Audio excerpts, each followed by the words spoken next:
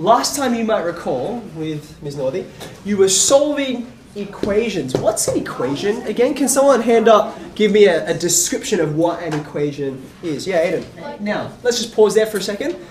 This, you, might, you may or may not remember, if you haven't, you know, um, I, I would suggest writing down. This is not an equation yet. It almost, it's something else. It starts with an E. Yeah, Kimmy. Um, equations are statements that are true where both sides are equal. Ah, okay. So we're going to get to an equation in a second, but this, what, what Aiden suggested to me, is something else. What is this? This is called an expression. It says something, and it says it with numbers.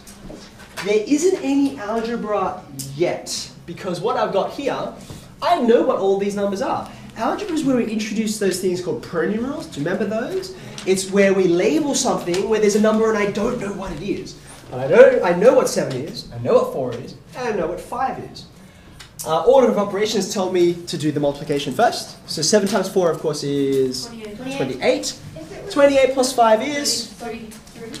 Okay, so now, now I have an equation. Okay, now what did I add that made it an equation? It was an equal sign. Thank you very much. And this is what Kimmy suggested, right? Where you've got two things. There's a, there are two sides.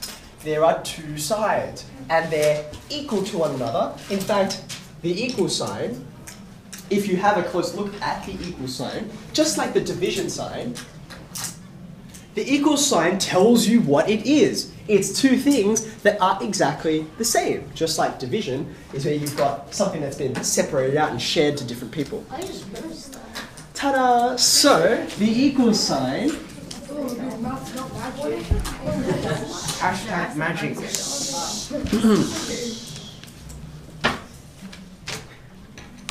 the equal sign, having a mathematical sentence where you say something and something else are exactly equal to each other is what makes it an equation. Right? Same base where that word is coming from. Okay? Now, I said before, these are all numbers, right? So that's what I would call a numerical expression over here, a numerical equation all up.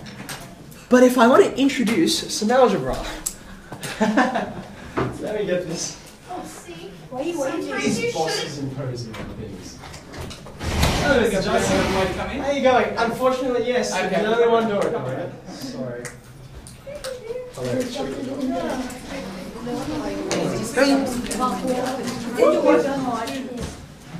Are they spying on us? Clearly, they heard me. Yeah. So, year seven, let's give him something worth watching then, shall we? Okay, now where were we?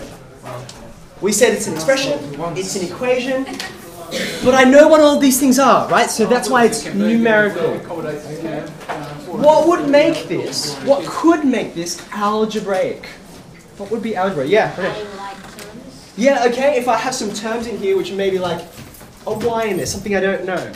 We took this equation, this is our numerical equation, and I added in something that I didn't know. I added in a label for something and I wasn't sure what it was. Nikhil, stretching or question?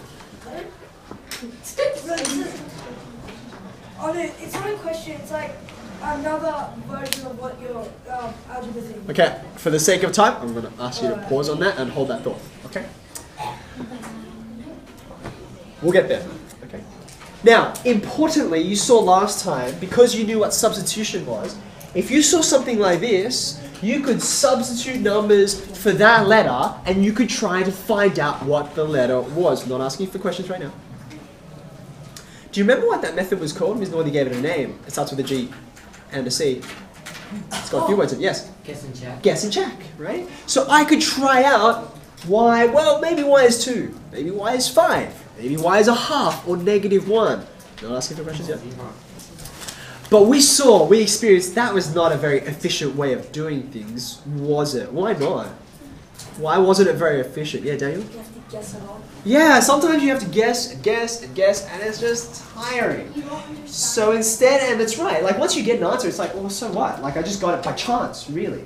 So rather than solving equations by trial and error, guess and check, we're going to use logic, okay? And the key is to remember if what you have is two things that are equal to each other, two things that exactly balance, then if they're the same, you can do things to both sides and it stays balanced. So for example, if you haven't already, would you write down this algebraic equation and we are going to solve it with logic. Okay? So, the first thing I'm going to do is, remember we said 7 times 4, we knew what that was, right? What is 7 times 4? 28. 28, very good. So I'm going to write that on my next line. And I especially want to emphasize to you that these two lines are in parallel to each other, right? So I've, I've written it down the page, not across the page, because these are kind of like parallel lines of working, okay? Now, remembering that I'm saying this thing and this thing are the same. They are equal, right? If I do something to one side, then I should do it to the other side. So for example, I had some objects on these two sides of the scale. If I took something off one side and I want to keep it balanced, I better take it off the other, yeah? So here's what I'm going to do, okay? I want to get towards, I want to find out what this pronumeral is, and I don't want to just guess. So I want to subtract something from both sides. That makes that a little easier to see. What could I subtract from both sides? Any suggestions? Yes, Frank. Oh, oh, okay. Um, kind of, kind of say the way, um, the way I did this. Not yet, not yet. I want us to solve it together, and then maybe we'll have time to discuss other solutions. Can I get a suggestion? You can minus 28 from both sides. I could subtract 28 from both sides. That'd be great. In fact, on the next line, let's all write that. Okay? This is what's already there 28 plus 5y. And there's already a 33, but I've left a space so that if you have another color, this would be lovely if you can put this in a different color.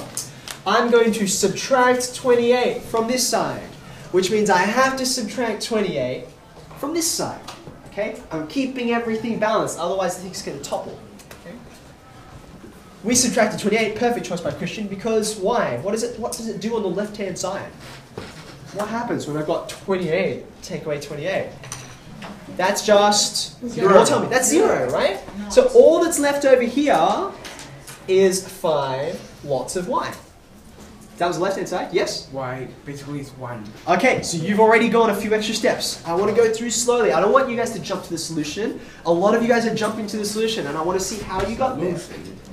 On the right-hand side, you need the working, right? 33 take away 28 is just fine.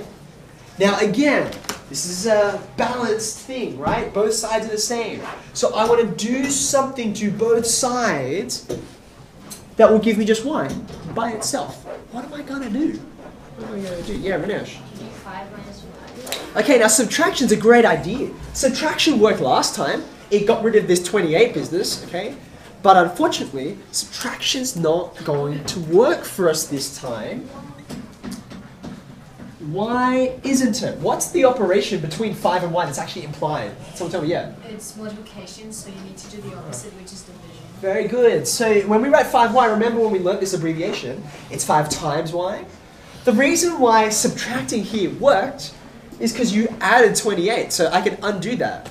Over here, I'm going to divide, like this. Can you write that for me? See that? What's happening over here on the left? This is fractions. We've been dealing with this for weeks, right? What happens? You can cancel here, right? Cancel, cancel, leaving you with Why? just y. And on the right hand side, 5 divided by 5, One. cancel again. One. It's 1. And there's our answer. Okay? Now that took a bit of time too, but this was much more logical. It was thoughtful. It wasn't just random, it was logical.